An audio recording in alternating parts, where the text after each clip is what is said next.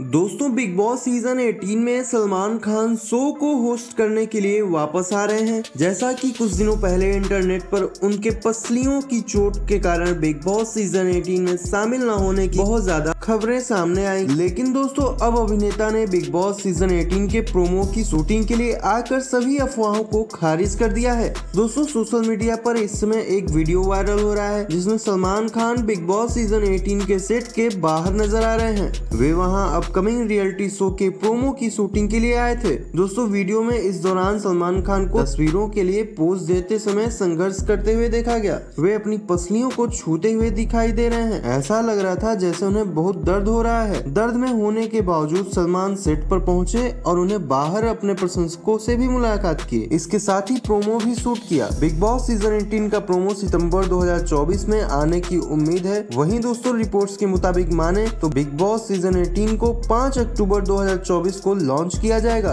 और Salman Khan Bigg Boss season 18 को host करने के लिए पूरी तरह से तैयार है। दोस्तों, आप हमें कमेंट करके बताएँ, क्या आप भी बिग बॉस सीज़न 18 का नया शो देखने के लिए कितने ज़्यादा एक्साइटेड है। तो चलिए दोस्तों, इस वीडियो में इतना ही। मिलते हैं आपसे अगली वीडियो में। Thank you so much for watching